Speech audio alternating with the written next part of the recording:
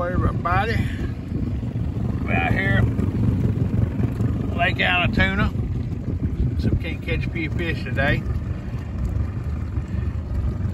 So we find them. Everybody out here joyriding.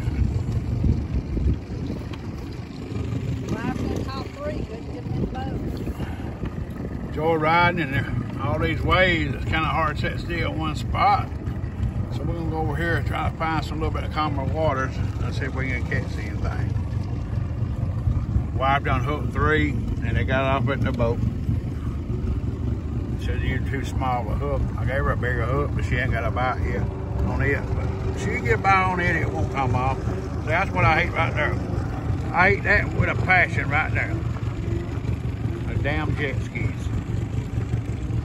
They ain't good for nothing but mess up a man's fishing. Later.